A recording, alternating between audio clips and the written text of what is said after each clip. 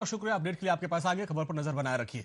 गाजियाबाद से खबर है, जहाँ पर हिंडन घाट पर इंडिया वॉइस के संवाददाता जितेंद्र भाटी के साथ एडीजी राजीव सबरवाल ने बसलुकी की। जिसके बाद से पत्रकारों में काफ़ी रोष है और इस मुद्दे पर रोष जताते हुए पत्रकारों ने डीएम कार्यालय के ज़रिए मुख्यमंत्री योगी आदित्यनाथ डीजीपी मुकुल गोयल, प्रमुख सचिव गृह के नाम से ज्ञापन सौंपा है। गाजियाबाद में कुछ समय पहले पत्रकार विक्रम जोशी की हत्या भी कर दी गई थी और जिसके बाद भी प्रशासन का रवैया पत्रकारों के लिए बदला नहीं।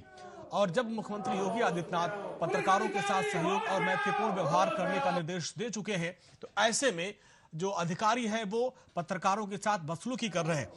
दरअसल हमारे संवाददाता जितेंद्र भाटी छठ घाट की रिपोर्टिंग करने के लिए गए थे और घाट की तैयारी पर किस तरीके सुरक्षा के इंतज़ाम है, उसी को लेकर अपनी रिपोर्ट फ़ाइल कर रहे थे और उसी दौरान पुलिस की जो मीटिंग चल रही थी और जब एडीजी वहाँ पर पहुँचे थे, उनसे बात करने की कोशिश की तो उन्होंने हमारे सहयोगी के साथ बसलुकी की कैमरा को नीचे गिरा दिया और यहाँ तक कि जो वीडियो था उसको डिलीट कर दिया था। इसके बाद से अब गाजियाबाद के जितने भी पत्रकार हैं, पूरे यूपी के पत्रकार, वो काफ़ी नाराज़ हैं और डीएम के माध्यम से मुख्यमंत्री और डीजीपी को ज्ञापन सौंपा गया है।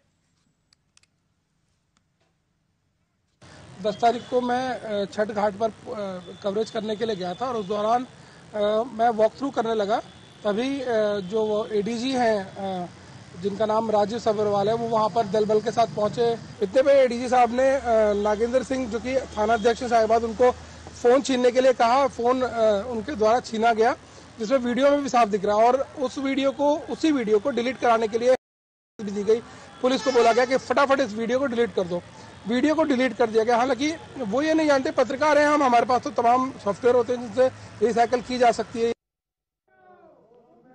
जिस तरीके से इंडिया वॉइस के संवाददाता के साथ बदसलूकी की गई है ये।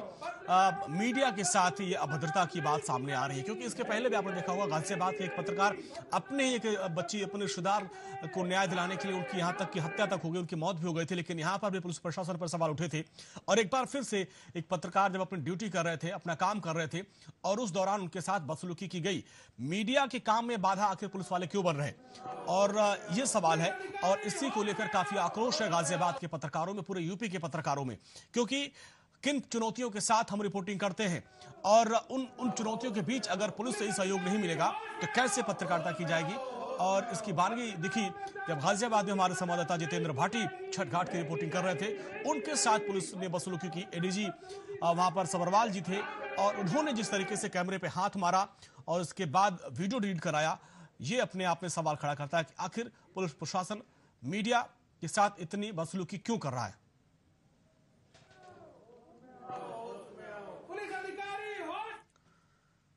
लखनऊ हुनर हाट की शुरुआत हो चुकी है। केंद्रीय स्वास्थ्य मंत्री मनसुख मांडविया ने आज हुनर हाट का उद्घाटन किया और इस दौरान यूपी कैबिनेट मंत्री ब्रजेश पाठक और सिद्धार्थनाथ सिंह भी वहाँ पर मौजूद रहे।